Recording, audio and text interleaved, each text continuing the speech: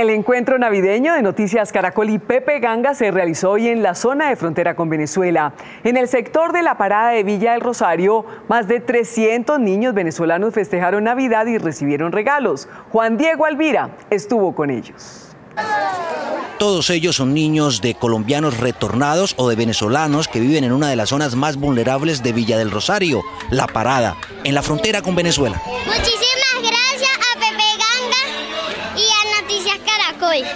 Muy bien, bien. Que la pasó muy bien, que muchas gracias por estos patín que me dieron hoy. ¿Se lo esperaban? No. Mientras los niños migrantes recibían regalos, sus papás trabajaban, o mejor, se la rebuscaban. Bueno, buscando para sobrevivir, no para Navidad, sino para sobrevivir.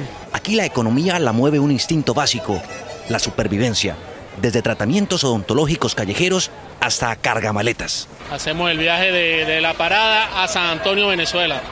¿Usted las lleva? Las llevamos. ¿Y por cuánto? Por cinco pesos. Pero pese a las dificultades del día a día, hoy los niños de la zona recibieron regalos, sonrisas, abrazos y lo más importante, afecto.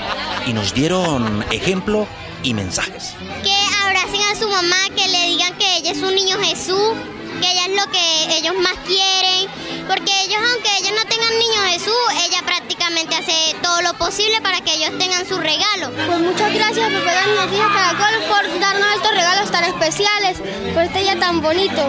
Todo esto fue posible gracias a Pepe Ganga, Noticias Caracol y la Fundación Casa Venezuela. Los niños se quedaron con una sonrisa en medio de un eh, trasegar un tanto caótico y también de un estado ineficiente. Juan Diego Alvira, Noticias Caracol.